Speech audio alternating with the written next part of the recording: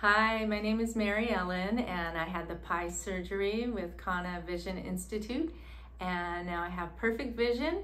Um, I had excellent care. They took great care of me. I was able to go back to work the very next day after the surgery and my pickleball game has improved a lot.